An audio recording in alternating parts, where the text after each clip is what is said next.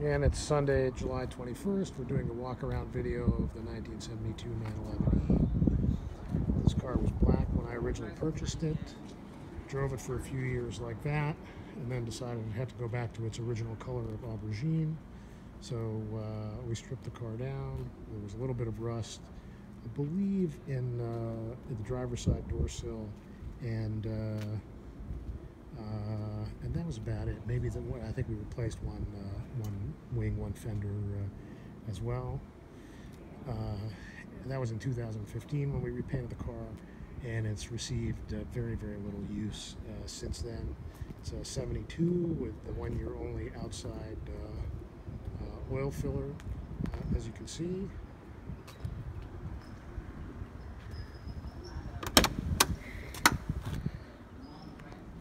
See the door jambs are good.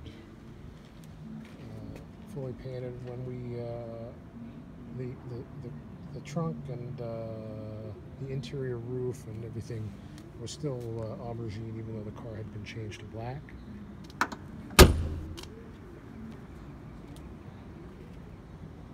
Some good gaps everywhere. Sunroof seal was fitted properly.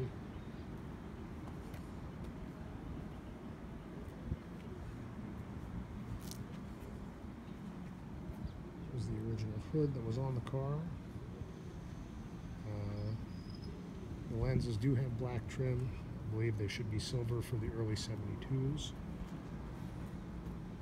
Get a good sense of the gaps here. Let's open the driver's side door car is a little bit dusty just because it's been sitting inside. And again, not driven.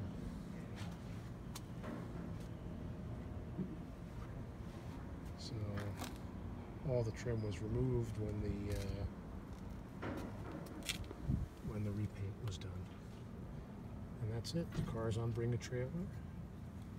Ending Friday, July 26th.